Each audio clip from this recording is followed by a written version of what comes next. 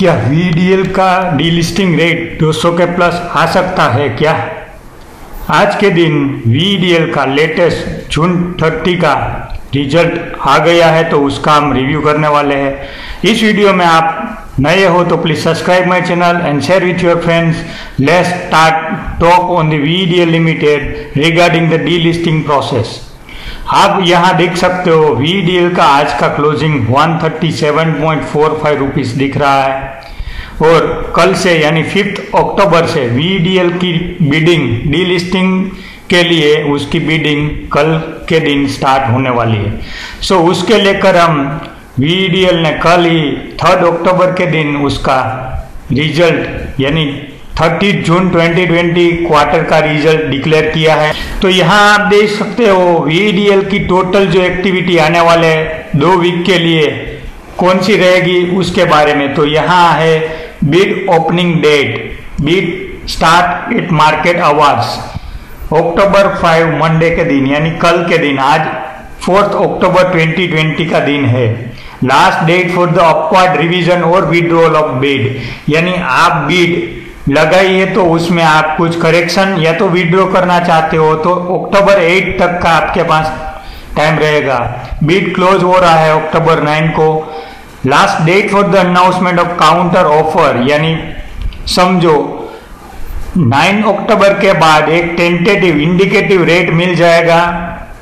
वो टाइम पे समझो प्रमोटर वो रेट पे डिसएग्री होता है तो उसके बिहाफ से एक काउंटर ऑफ़र आ सकता है।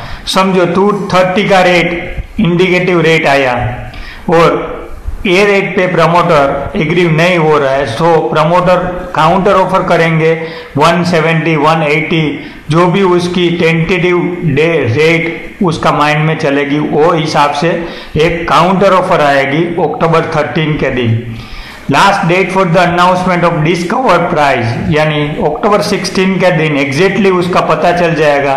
और सक्सेसफुल जो डीलिस्टिंग प्राइस मिल जाता है तो अक्टूबर 23 से पेमेंट स्टार्ट हो जाएगी।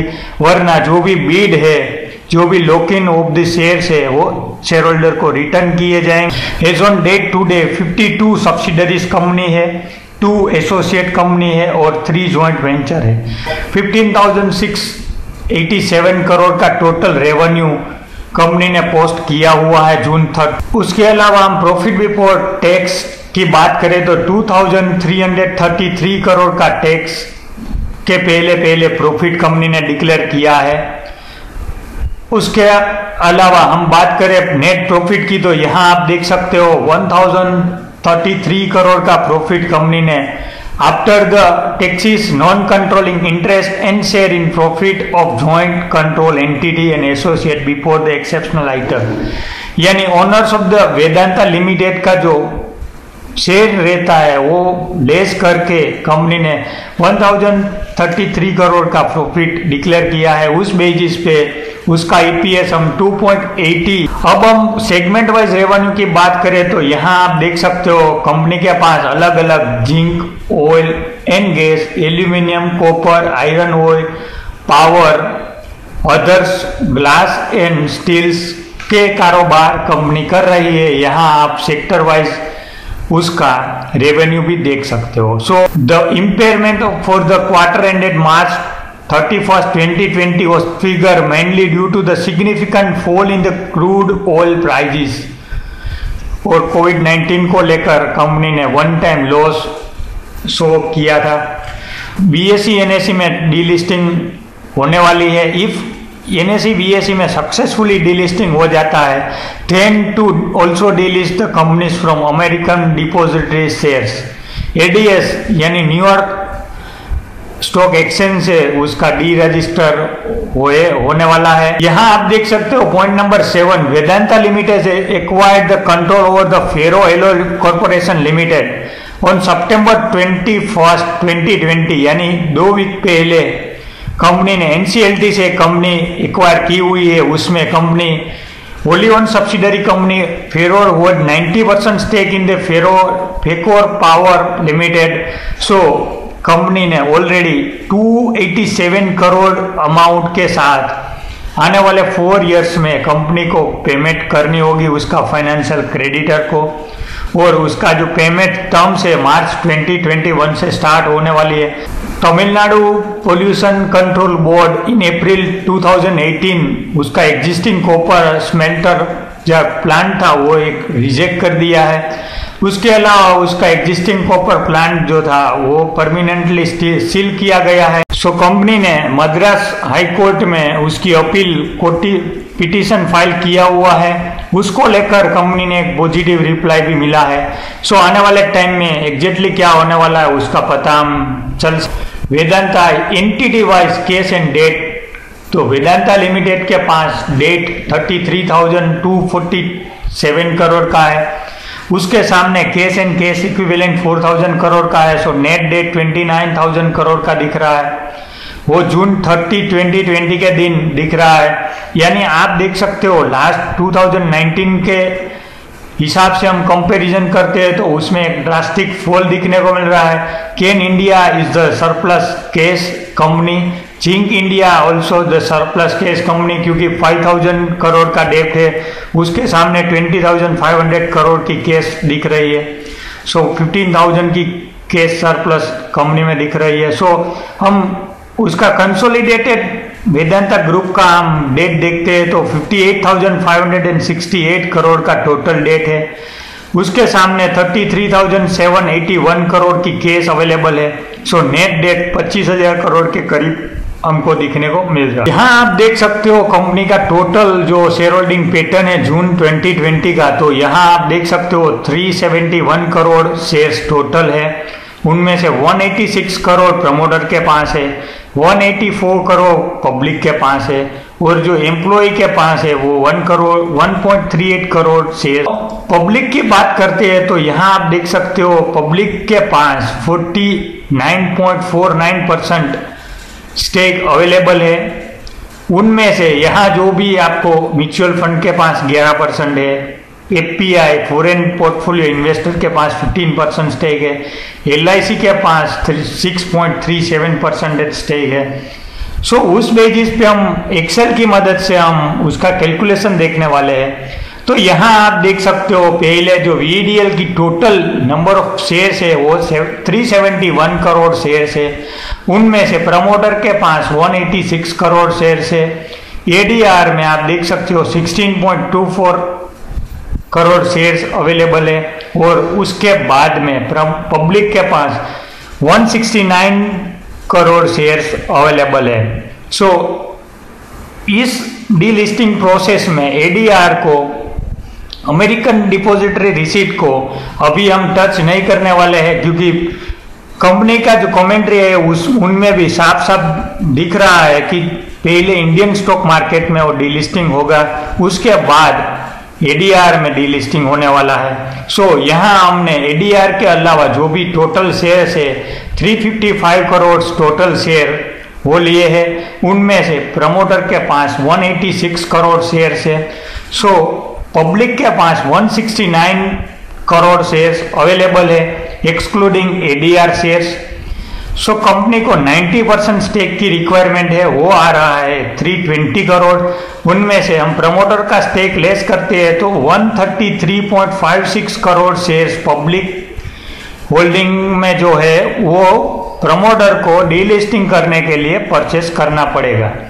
सो so, हम एक कंक्लूजन पे अभी आ गए कि 133.56 करोड़ शेयर्स कंपनी को ओपन मार्केट डीलिस्टिंग के ज़रिए परचेस करना है। यानी 35.54 करोड़ शेयर्स वो है जो कंपनी शायद एक्सेप्ट ना करे तो भी चल सकता है। क्योंकि to to make the company delist at least 90 percent stake is required so to make the 90 percent stake including promoter stake already promoter के पास 52.43 परसेंट स्टेक है। सो so उसके अलावा कंपनी को 133.56 करोड़ की रिक्वायरमेंट है। सितंबर 2017 से वो drastically slow slow by slow decrease हो रहा है। सो so, सितंबर 2017 से लेकर जून 2020 तक ऑलमोस्ट थ्री परसेंट का स्टेक सेल दिख रहा है। एलआईसी का जो शेयर होल्डिंग है वो ऑलरेडी यहाँ आप देख सकते हो। सितंबर 2017 के पीरियड से वो दिख रहा है।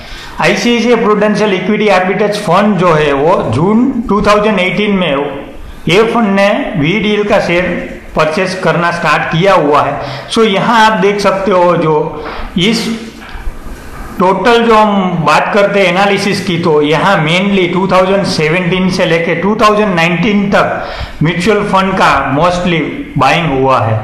सो म्यूचुअल फंड के पास आज की डेट में 11 परसेंट स्टेक दिख रहा है।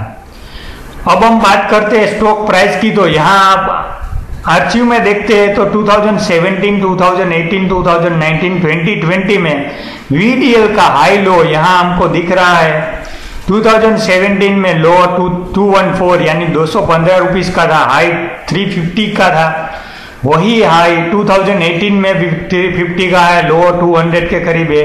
2019 में भी 125 का लो है और 200 का हाई है। सो so, हम अभी एनालिसिस के दौर पे यहाँ बात कर सकते हैं कि जो भी म्यूचुअल फंड की एक बाइंग एक्टिविटी हो रही है वो यहाँ हम लो प्राइस भी काउंट करते हैं तो 130 140 के करीब यानी 150 हम काउंट करके चल सकते हैं इन्हें लोअर रेंज और अपर रेंज में 350 का रेट हाई दिख रहा है वो भी हम 300 या तो 270 का रेट हम काउंट करके चल सकते हैं। सो so, हम उसकी एवरेज भी निकालते हैं तो 180 से लेकर 200 तक की टेंटेटिव एवरेज हमको मिल सकती है। एडबिटेज फंड के पास 5 परसेंट स्टेक है यानी 18 करोड़ शेयर्स टोटल है वो। उसकी उसकी हम बात करें कॉस्ट ऑफ़ परचेज की तो 200 के करीब उसका रेट हमको दिखने को मिल सक, मिल रहा है। क्योंकि 2017 से लेकर 2019 तक ये जो फंड का बाइंग हो रहा है, वो हमको दिख रहा है। सेम वे एच में भी 12 करोड़ शेयर से एलआईसी के पास भी ऑलमोस्ट जो भी बाइंग है वो 300 प्लस का बाइंग दिख रहा है और लोअर बैंड पे 150 का बाइंग है सो हम एवरेज उसका 200 का बाइंग काउंट कर सकते सो so, उसकी जो बीड आएगी वो एग्रेसिव यानी नो प्रॉफिट नो लॉस पे भी आई आ रही है तो हमको 200 का रेट दिखने को मिल सकता है। उसके अलावा हम बात करते हैं एफपीआई की तो एफपीआई के भी होल्डिंग ऑलमोस्ट 200 के रेट पे ही दिखने को मिल रही है। सो so, वीडीएल के केस में ज़्यादातर जो भी होल्डिंग दिखने को मिल रही है, यहाँ जो टोटल शेयर होल्डिंग हमने ली है एक्सेल में तो यहाँ आप देख सकते हो मोस्टली जो भी एनटीडी आज की डेट में वीडीएल होल्ड कर रही है, उसकी होल्डिंग टू हंड्रेड रुपीज़ के अबो दिख रही है। अब हम बात करते हैं वीडीएल की तो यहाँ आप देख सकते हो, उसकी रिसेंटली यानी सितंबर फोर का ये आर्टिकल है। यहाँ Vedanta slashes the book value ahead of the delisting इस इस आर्टिकल में साफ़ साफ़ लिखा है कि वेदांता की जो बुक वैल्यू 147 की थी, वो 90 के करीब दिख रही है। ड्यू टू रीस्ट्रक्चरिंग या तो write off off the capital reserve so उस बेजिस पे इस आर्टिकल में साफ़ साफ़ लिखा है कि वेदांता के पास 138 से लेकर 140 तक पेमेंट करने का एक बंदोबस्त किया गया है। वेदांता लिमिटेड ने 3.15 बिलियन डॉलर फंड राइज किए हैं। उनमें से 175 बिलियन थ्री मंथ का टर्म लोन है। 1.4 बिलियन डॉलर थ्री इयर्स का अमोडाइजेशन बॉन्ड 13 परसेंट की इल की मदद से है। प्लस उसका हिंजिंग का जो डिविडेंड मिला है, वो भी आज कंपनी के पास है। अब हम बात करते हैं इस डी लिस्टिंग प्रोसीजर की तो। जो अग्रवाल साहब है, वो थोड़ा बहुत भी एग्रेसिव डीलिस्टिंग के बारे में सोच सकते हैं, क्योंकि अभी आज के टाइम पे एल्यूमिनियम प्लस ऑयल की जो प्राइजेस अप हुई है, उस बेसिस पे आने वाले टाइम में वेदांता लिमिटेड का शॉर्ट टर्म के लिए ये डीलिस्टिंग प्रोसीजर कैंसिल भी हो जाती है तो प्राइस में करेक्शन ज़रूर दिखने, दिखेगा। बट आने वाले दो तीन क्वार्टर के बाद अगेन रीरेटिंग होने का पूरा पूरा चांसेस है एल्यूमिनियम और ऑयल और गैस का जो सेक्टर है अभी उसका प्राइस भी रिकवर होने को दिख रहा है। सो उसी को लेकर अगेन बुक वैल्यू में एक अच्छी खासी बढ़ोतरी दिखने को मिल सकती है। सो 130, 140, 150 के रेट आने वाले एक या दो साल में वो कॉमन हो जाएगा। If delisting not successfully done रहता है वो एक टेक्निकली बहुत लेंदी प्रोसीजर है। उसमें बहुत टाइम कंज्यूमिंग होता है। बहुत सारा कंप्लेंट्स भी करना रहता है। सो so, शायद ये भी हो सकता है कि अग्रवाल साहब एक एग्रेसिव बीट भी एक्सेप्ट कर सकते हैं इस मामले में। बट अगेन कंपनी का एक हम डेट कंसीडर करते हैं तो कंपनी के पास उसका जो पीयर कंपनीज़ का कंपैरिजन करते हैं तो एक बड़ी डेट दिखने को मिल रही है। सो so, उसी को लेकर कंपनी शायद वो भी सोच सकती है कि इतना बड़ा डेप्ट और बिज़नेस की अनसर्टेनिटी को लेकर हमको अग्रेसिव प्राइस पे डी लिस्टिंग नहीं करनी है। सो so, शायद डी लिस्टिंग कैंसिल भी हो सकती है। सो so, इस टोटल केस में हम 130 के रेट पे शेयर मिलता है या तो हमारा कॉस्टिंग नेट नेट 130 हो जाता है और हम 120 का स्टॉप लॉस 115 के स्टॉप लॉस के हिसाब से ये शेयर ज़रूर बाय कर सकते हैं। हमारा अपर बेन टारगेट रहेगा 170 180 aggressive delisting price 200 plus भी देखने को मिल सकता है but due to heavy burden and uncertainty of the business शायद वीडीएल के केस में 133 करोड़ शेयर्स जो प्रमोटर को एडिशनल बाय करना है to reach 90 percent share holding उसके बेसिस पे हम बात करते हैं तो एक बहुत बड़ा चैलेंज हम बोल सकते हैं। और वीडीएल जैसी एक अच्छी dividend paying dividend yield company being a shareholder ये जो कैंसल भी हो जाता है तो शॉर्ट टर्म के लिए एक थोड़ा बहुत पैनिक ए स्टॉक्स में हो सकता है। बट लॉन्ग टर्म के लिए ए स्टॉक्स अगेन 150, 140, 170 के रेट पे ज़रूर दिखने को मिलेगा। सो डी लिस्टिंग सक्सेसफुल नहीं भी होता है तो for a shareholder it's a wonderful क्योंकि डिविडेंड मिलेगा ही मिलेगा। डेट जो है वो ड्रास्टिकली फॉल हो जाएगी क्योंकि डी लिस्टिंग का जो अमाउंट केस पड़ा है वो सीधा सीधा डेट रिडक्शन में चले जाएँगे। सो उसको लेकर काफ़ी हद तक इंटरेस्ट बर्डन भी रिड्यूस हो जाएगा। और 200 के प्लस डी लिस्टिंग रेट आता है तो शेयर होल्डर के लिए एक अच्छी खबर हम बोल सकते हैं। So being a share holder हमारे लिए विन विन पोजीशन बन सकती है if we are a long term genuine investor इस वीडियो के माध्यम से मैं एजुकेशनल पर्पस के लिए ही मैं अभी बना रहा हूँ। ये वीडियो में मेरी कोई पर्सनल एडवाइस आपको बाइंग सेलिंग की नहीं है। आप अपना होमवर्क कर सकते हो। ऑलरेडी हमने एल आई म्यूचुअल फंड का cost of acquisition of the shares discuss किए हैं। सो उसके लेकर आपको कोई भी क्वेरी है या तो कुछ भी डाउट है तो आप अपना स्टडी कर सकते हो। और आने वाले टाइम में यानी कल के दिन वीडीएल की बिडिंग प्रोसीजर स्टार्ट होने वाली है। सो so, वीडीएल का अभी आज की डेट में अच्छा रिज़ल्ट भी थ्री रुपीज़ के ईपीएस के साथ हमको दिखने को मिला है। सो हम टेंटेटिव टेन ट्वेल्व रुपीज़ का ईयरली ईपीएस काउंट भी करते हैं। तो आज की डेट में भी 12-15 के पी पे ये शेयर ट्रेड हो रहे हैं। और प्रमोटर जो है डी लिस्टिंग ऑफ़र इग्नोर करते हैं या तो एक्सेप्ट नहीं करते हैं तो ये स्टॉक्स में एक 30 परसेंट फोर्टी परसेंट की गिरावट भी दिखने को मिले, मिल सकती है। But for a long term genuine investor आने वाले दो तीन साल का नज़रिया है तो इस स्टॉक्स में कोई दिक्कत मुझे लग नहीं रही है। और आने वाले टाइम में हमको एग्जैक्टली पता चलेगा कि इस शेयर्स में डीलिस्टिंग रेट क्या आने वाली है। इसी के साथ हम, उम्मीद के साथ हम आज का वीडियो समाप्त करते हैं। Thank you